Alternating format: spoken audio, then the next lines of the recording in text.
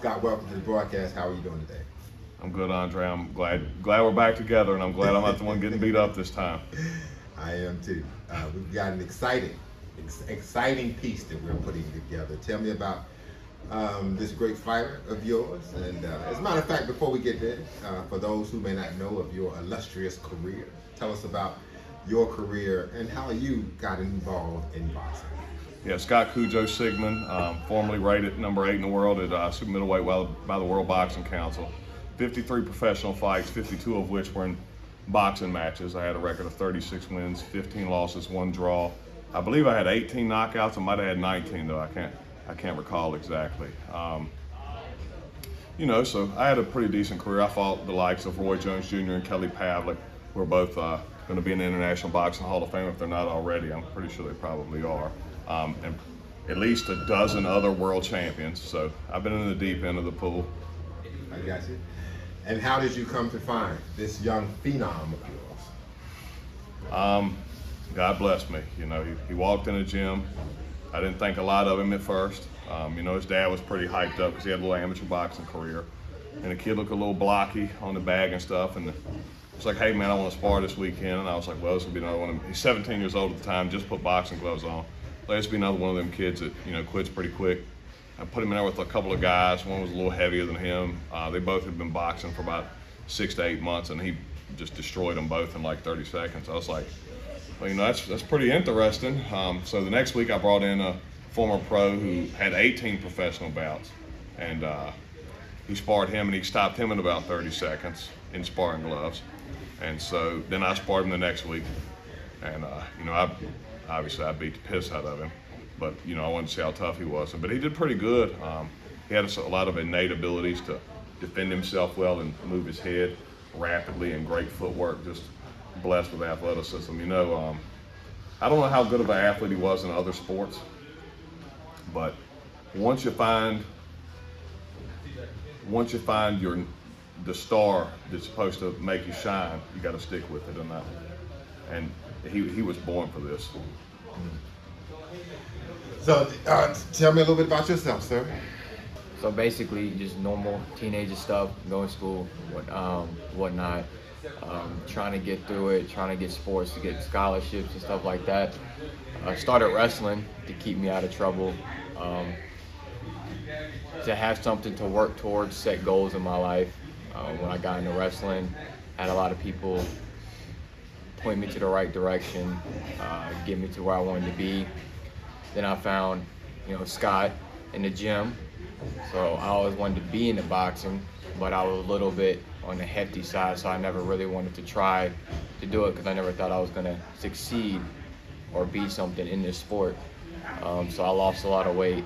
Then came um, just try to work out with Scott to see if I was actually supposed to do this or if it was just like one of those dreams and then give up type things. Um, stuck with it for a little bit, got into sparring. Um, you know, I did pretty decent for my first couple weeks being here. Got beat up by Scott. See where I was at, you know, on the podium, where I was at, or whatnot. And uh, now we're here, just trying to make something of myself and represent my, you know, city and where I come from. So Scott, upon that initial meeting, the initial viewing of him, what was he like? What did you see in the beginning? it was just a lot of intangible things. I liked how fast he moved. Um, I really liked how calm he was. Very calm. Um, he never gets upset.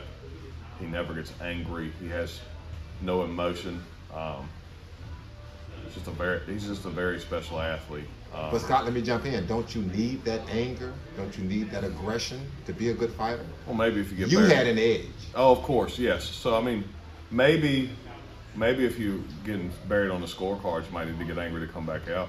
But he hasn't even lost a round yet as a pro.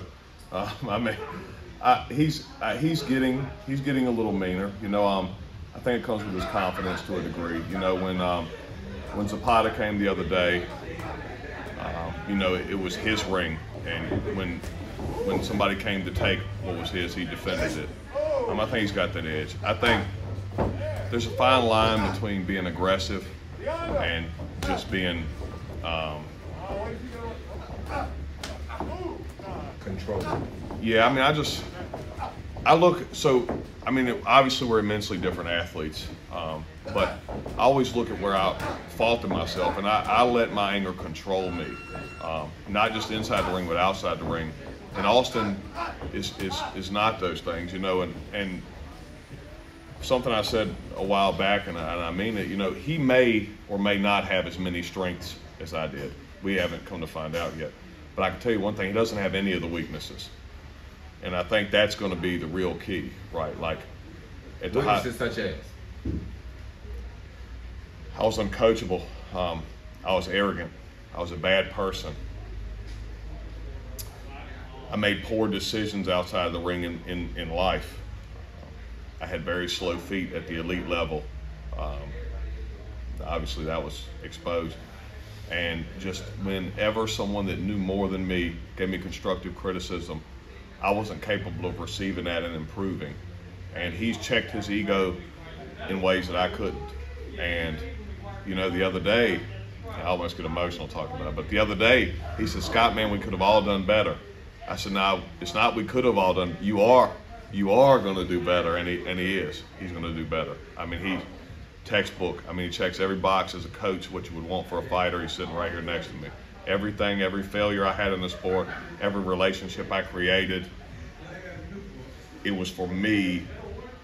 And he, hopefully, he's the first of many. You know, I opened the door for him, but a talent like him, he's going to open the door for so many more after him. Talk about his development. Talk about the progression. Where is he? Where is he going today? I mean, how, go ahead. You, how do you feel about how you're doing? I feel like I'm doing pretty decent for my age and for how long I've been into the sport. Only been boxing for about a year. Um, been training for about a year and a half, somewhere around there. Um, I feel like I have came a long ways from where I started from the beginning. Like Scott said, I was gifted with quick feet and the ability to defend myself, and they helped me tune up a lot with my defense and also my feet work and stuff like that. Um, there's a, still a lot of stuff that I gotta clean up on um, to get to where I gotta be at, but overall, I feel like my progress is is going on the right track. I've always told him how good I thought he could be. After the second week, I've always told him that. For a long time, you know, six months or so, maybe even one pro fight in, not a lot of people came to watch him spar. And I remember there was one, there was one day, there was probably 20, 30 people in here watching spar. And it was a great round with like some grizzled veteran, I can't recall who it was. And, you know, he edged it out at the end using his, you know, great angles and everything. And there was like a little golf clap afterwards. And and I looked at him, I said, you know something, I've always known you're the star, but everybody else is starting to realize you're the star. When I took him down and I sparred him with the 17 0 fighter, and the guy tried to stop, and I sparred him with this other guy that's been on Showtime a couple of times, and he did stop him. I mean, that's when it started to become real. Like he's already turning the corner at this age. Um, you know, we got guys coming down the pipe. There's a guy that's 18 and 3, and a guy that's 20 and 0 that I've been trying to get in the ring with him. I mean, there's every excuse. They will not. They will not fight him. Now he hasn't even been tested as a pro in the ring yet. I mean, he hasn't fought anybody that's not a journeyman yet. We're trying to step him up, but trying to get these other contenders in the ring with him has proven almost impossible. I mean, it is. So I mean, they they know they can say whatever they want, but they know in their heart they they know. And if we get this 18 and three guy in there with him, he's going to stop that guy in two rounds. I mean, the guy's going to leave on a stretcher, and i I know it's going to be even more difficult to make the fights after that, but I'm completely fine with that. Um, I, you know, I want him, I want him ranked uh, nationally, internationally soon. Um, as soon as I can get one of these top level guys to come to the table, we're going to call the WBC. We're going to try to make him become the champion that I was at 23. It took me 25 fights. He'll do it before his 20th birthday. I'm sure of it if we can get one of these guys in front of him. Let's break down his intangibles and tangibles. Every fighter has a style. Every fighter has has those key points. Their their bread and butters, if you will. Their go-to moves. Let's talk about the intangibles that he has. Yeah, so the intangibles and the tangibles. So the intangible things is his calm demeanor, his uh, his ability to break down boxing. So Um, like I've told you, you know, Owen Hilton is is very coach minded like me. I mean, he is an active fighter. He doesn't want me to box him in as a coach. He's a great coach. He runs the gym for me. And one day he was watching me work in the corner with Austin. And he's like, Why aren't you talking to him a lot today?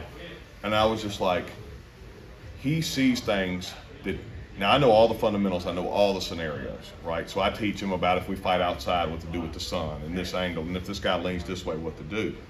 But he sees boxing in like rhythms and patterns that I never sensed. It's like he's like a Picasso or a Beethoven, you know, he's working on a whole different level.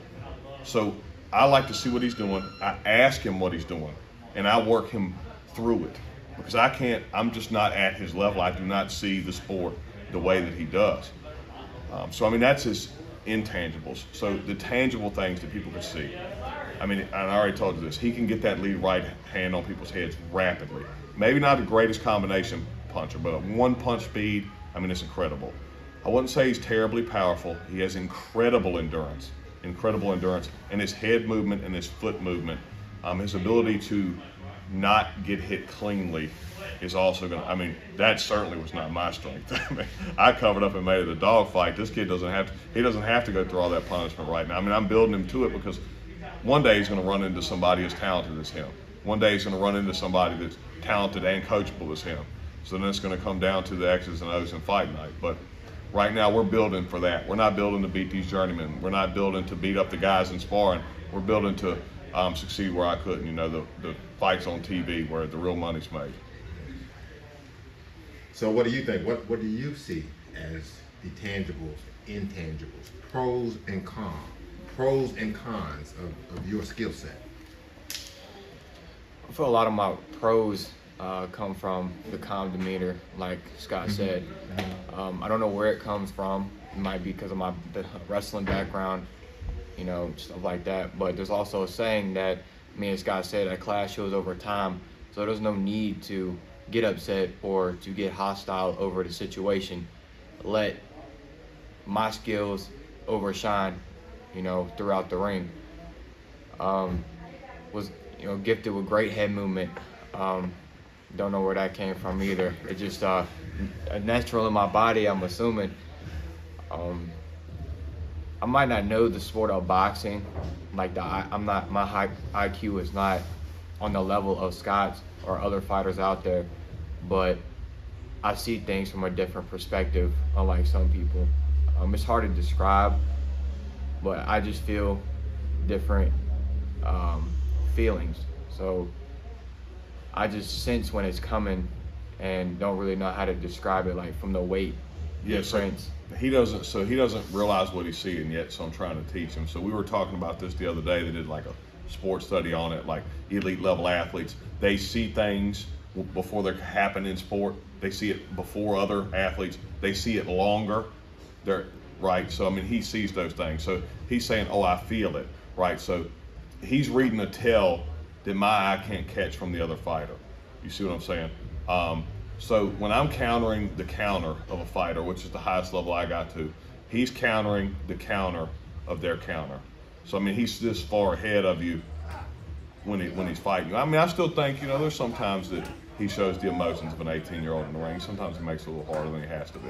Um, you know, he's been bullying everybody over recently. So in our network, we kind of got back to the things that make him hit and make him himself, and we started working on his feints and his timing and things again. So I think we'll see that version of Austin today in sparring. I hope.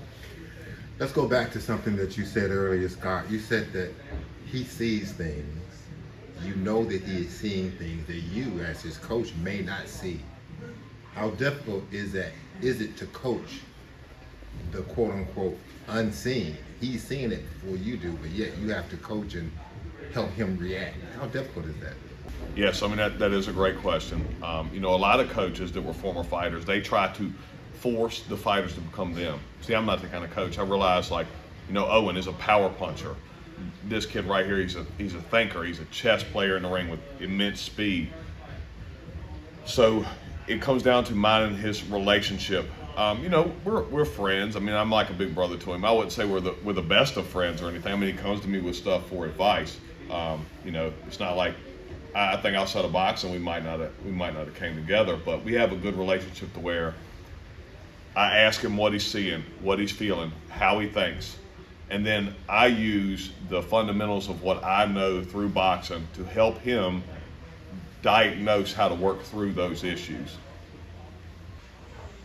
You know, I, I don't I Isn't it, I- I- come natural for you? yeah, I don't I don't think it's that hard just because I always knew it existed because all the guys that were beating me, they were on the next level. I just didn't know how it was happening. You know, I mean, now I kind of got to look into it. I'm just not that athlete. You know, it's certain guys can't jump so high. Certain certain guys aren't so fast. They don't they don't punch as hard. They don't run as fast. I mean, this is just an ability that he possesses that I never did. Um, but I mean, I know what to do with it. I just couldn't do it myself because I didn't have that um, that athleticism, that trait in me as a fighter. So Scott, what's the plan for Deanda? How how are you orchestrating his future? People need to see this talent. So, you know, my job as, as a manager is to find a promoter and, and work out the financials of it for him to showcase his skills. You know, he can have all the skills in the world if nobody, if you don't have a stage to show it, nobody will know. So, I mean, I've been very blessed. There's been a lot of local businesses, um, Caspians, uh, Tattoo, uh, Quality Lawn Connections, JSC House Washing. There's so many of them, I can't remember all of them. But, you know, um, you can look at my Facebook page, Scott Cujo Sigmon. I'm on his advertisement materials, all the posters uh, Ginger Jewelry in uh, in Roanoke. They're helping him on a fight by fight basis to help take care of his training expenses and things like that, and helping fund the stage that he's fighting on because there's a lot of cost associated with boxing. Not to get into the gritty details of it, but we got to raise money and we got to put asses in seats for the kid to fight. And we've been very fortunate that um, the business owners of the community have recognized this talent and done that. There's a lot of guys, there's a lot of bravado in boxing. They're, oh, I'm the best. I'll fight this. I'll fight this.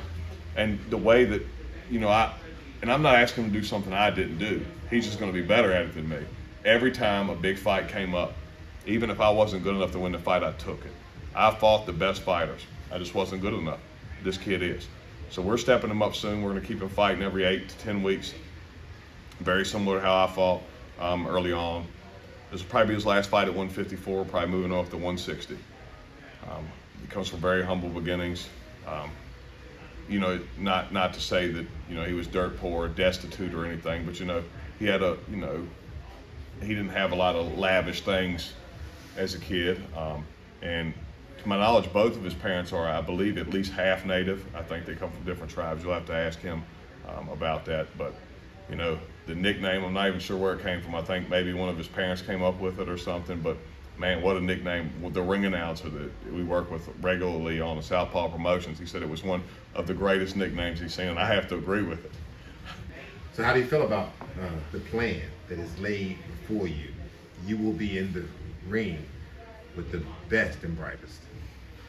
That's what I'm working for. I'm working and dedicated to get to the top tier level that Scott is trying to point me into going to. Um, I'm ready for whatever obstacles I gotta go to or barriers that I reach that I gotta come overcome. Um, I'm not I'm not a pushover like a lot of them think I am. Like a lot of people that I've had always doubt me and stuff like that. I'm here to show them like this is who I am and this is what I will be. And whatever Scott says, it's the right thing I gotta do, and that's what we're gonna do.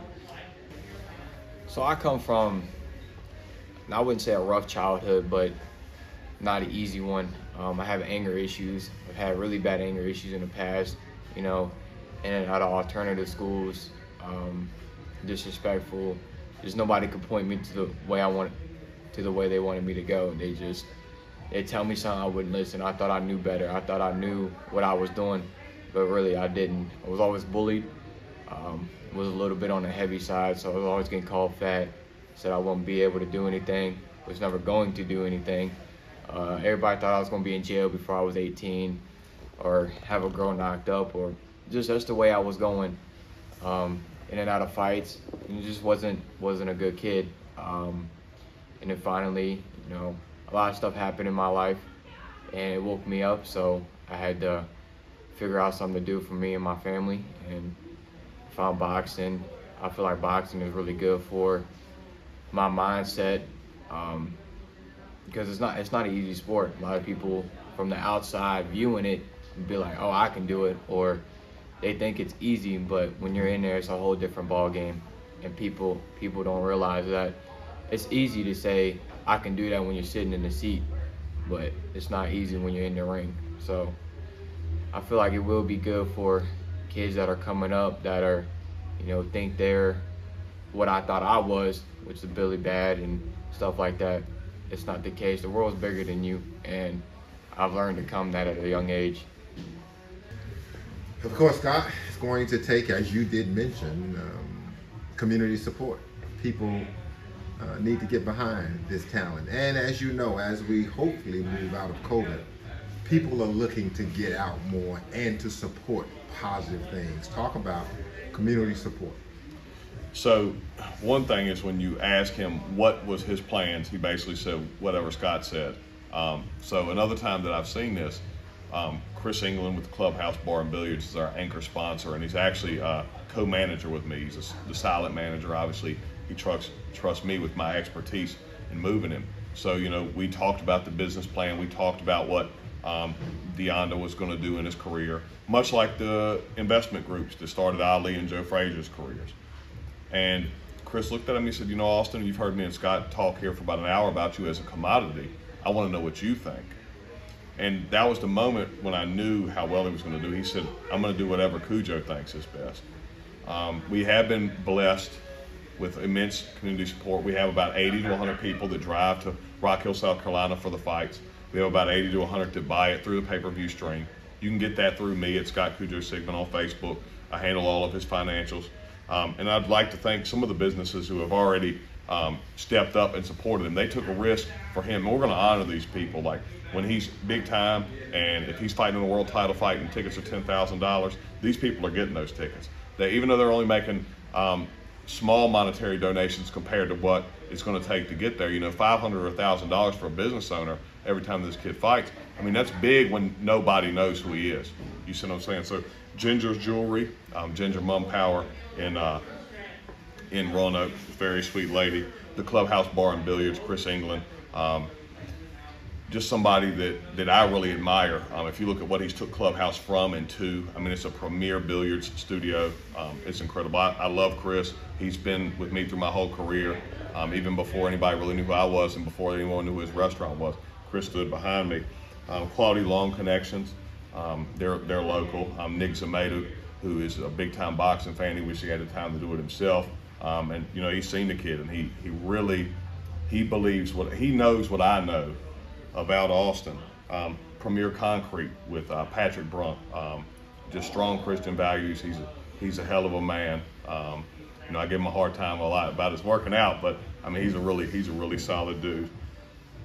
JSC House Washing, Jessica Cox, another local. Um, very sweet lady. She, her son was a member at the gym for, for some time.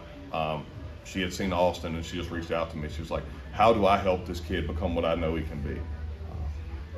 Uh, Cothran Schoonover Insurance. Um, he's also local. Um, very, very good gentleman, great integrity. Um, you know, he said, I really like what you're doing here. I see where this is going. How can I help you? I believe. And then Caspian Tattoo, Dave Casper. Um, I'm pretty sure everybody knows who he is. He's who a, doesn't? Yeah, he's probably he's probably a bit. He's here today to watch him spar, but he's probably uh, he, more well known in, in Lynchburg than me. And you know, um, and someone like that to build something from nothing to something great, and when they see it and they see something like themselves in it, and they know that if they put a little bit forward, that they can help this sapling grow into a huge tree. I mean, that's what these people represent to me. Um, and I just hope that we can continue to get the support. And, and I thank all of you guys from the bottom of my heart for what you're doing for this kid to help him follow his dreams.